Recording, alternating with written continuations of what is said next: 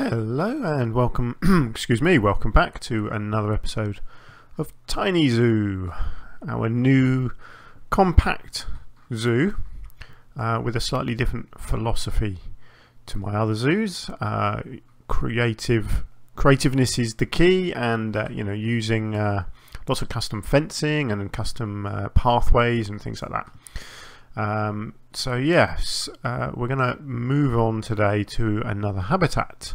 Uh, in the last episode, I built this red panda habitat in the corner here. Uh, I think it came out quite nicely. I'm, I'm happy with it.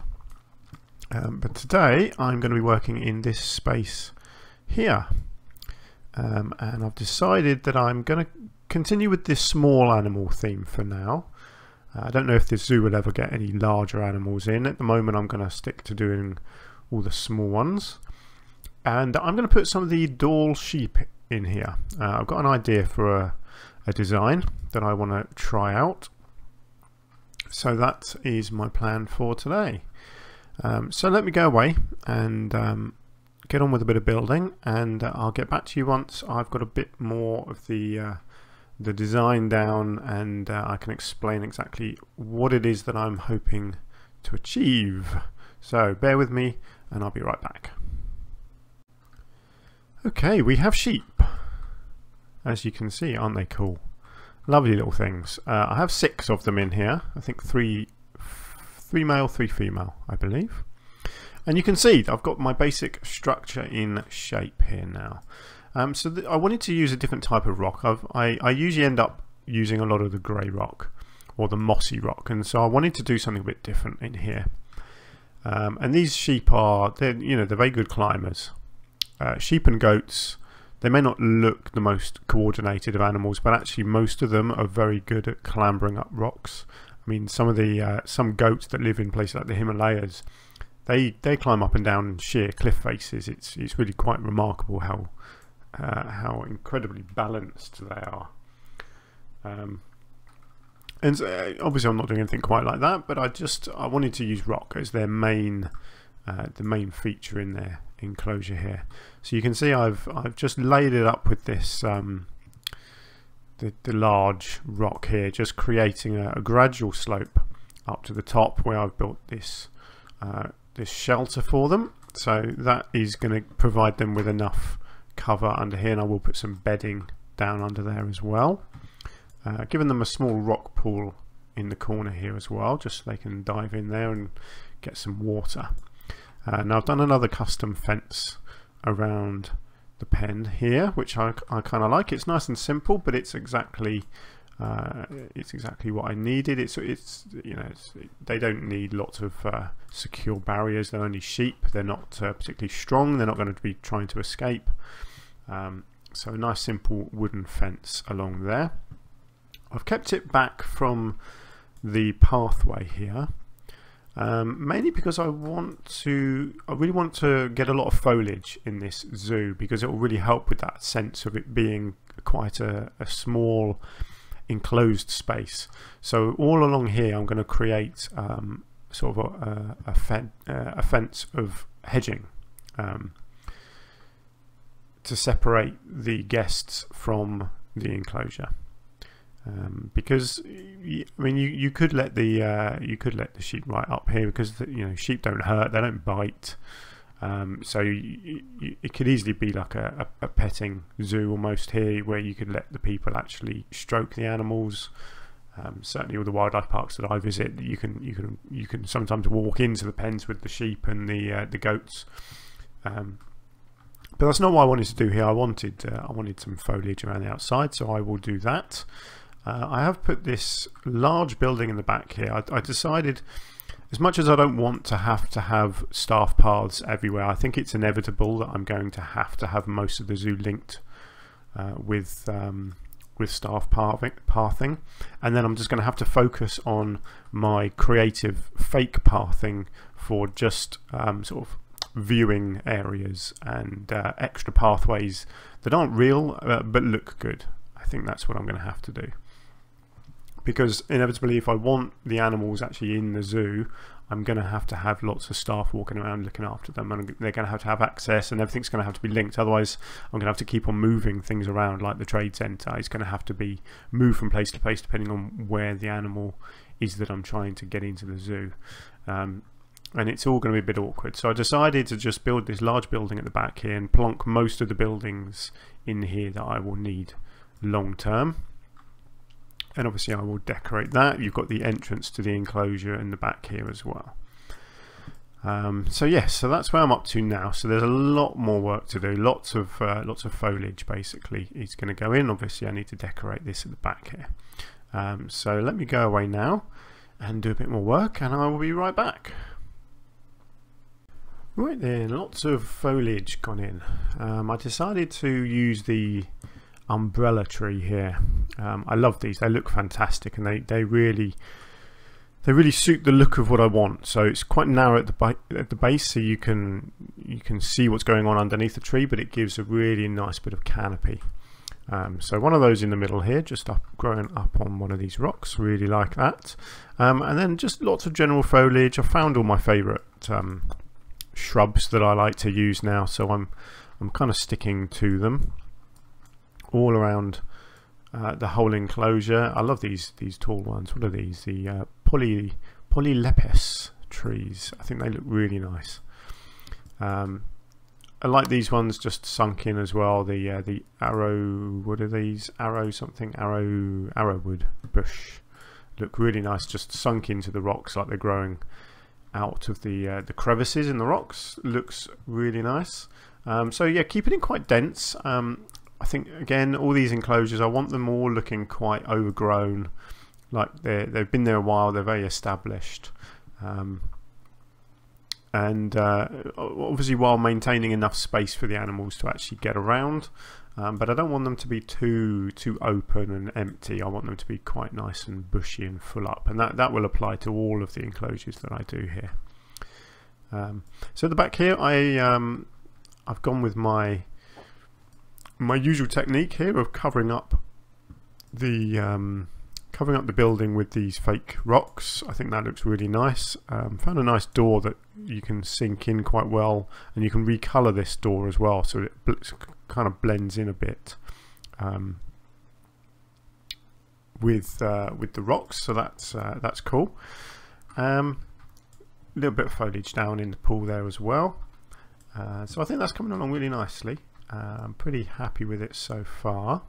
Still got a lot of work to do around the outside here. Oh, you can see I put a curb here as well on the side of this pathway.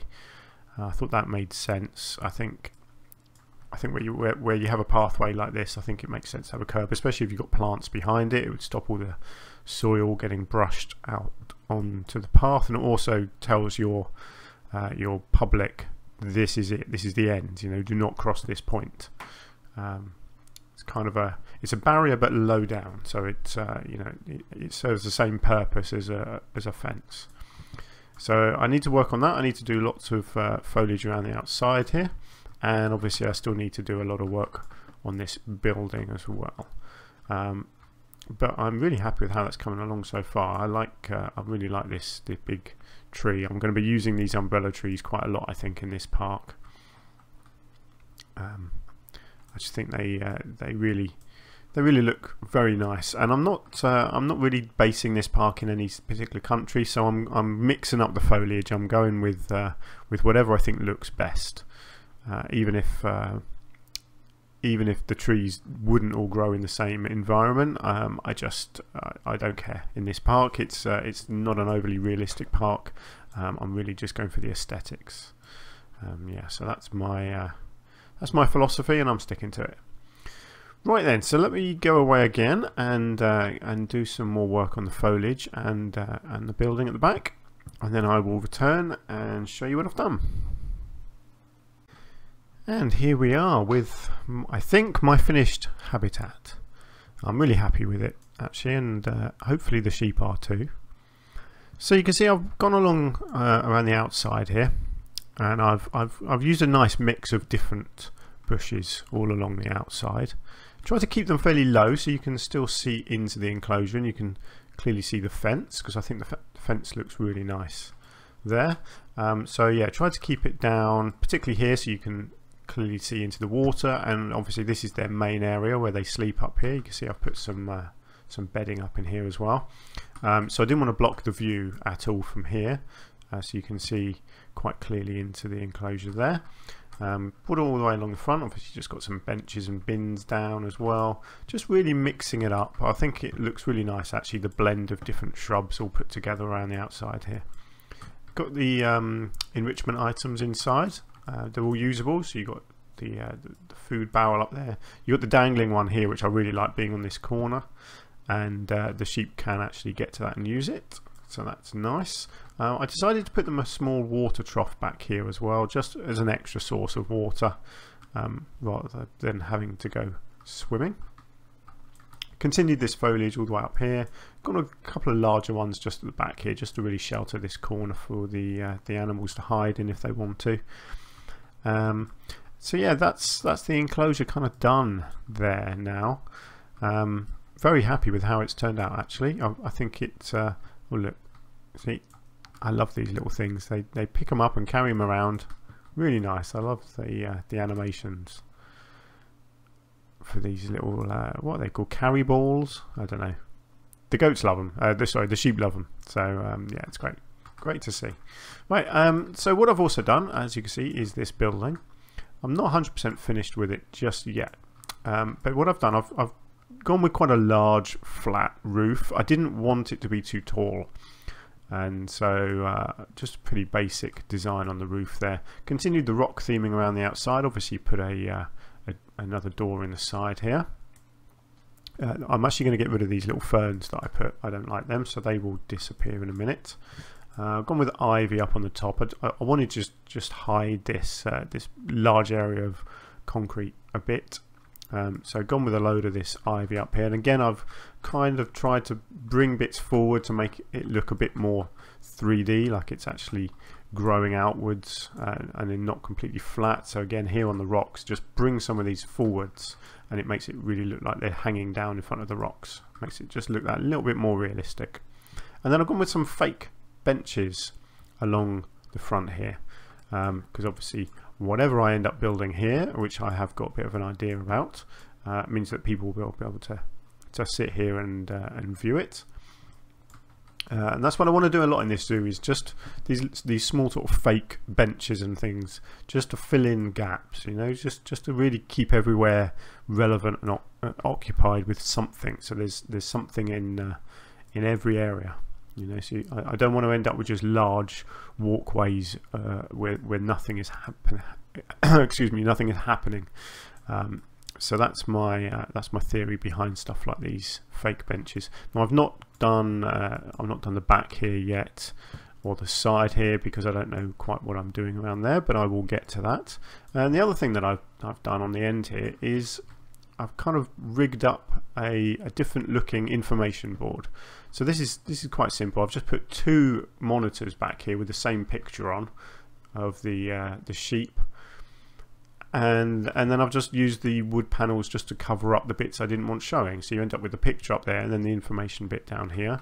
Put one of these speakers in here with a small switch that's kind of it's meant to represent a thing where you can it's it's something we see a lot in the UK here uh, where you push the button and it will talk to you. So instead of having these things on a permanent loop which is really annoying you have to push the button and then it plays and it might be you know a minute's worth of talking and it's someone telling you about the animal.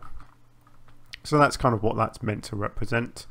I quite like this. It's uh, it is the sort of thing that we we get here in the UK I don't know if it happens elsewhere as well, but um, yeah, I, I, quite like this. It's it's something a bit different, and I, again, I'm just I'm trying to customize everything, trying to trying to make everything my own. Um, so that's what I've gone with there, and I'm uh, I'm pretty happy with it.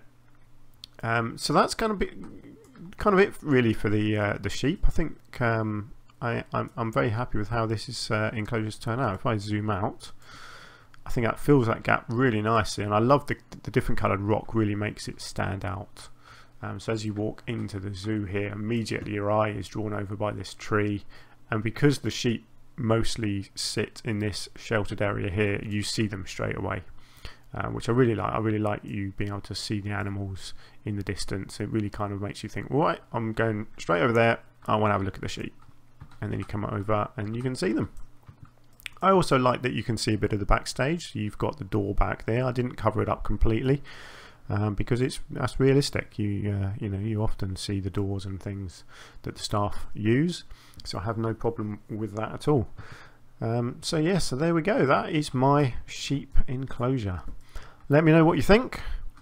Um, I personally, I'm uh, I'm really happy with it. I think the sheep look really good in there, and uh, yeah, that's turned out better than I expected. So thank you very much for watching. I hope you've had fun. I hope I've inspired you to go and build your own sheep enclosure uh, or something else that's similar. And uh, yeah, hopefully I'll see you in the next one. I'm not too sure what I'm going to be doing next. Probably something in this area here. I've got a bit of an idea and uh, I think that probably will be my next project because uh, it's an animal that I really want to get into the zoo. So until then, um, take care, thanks for watching, and I will see you in the next one. Bye for now.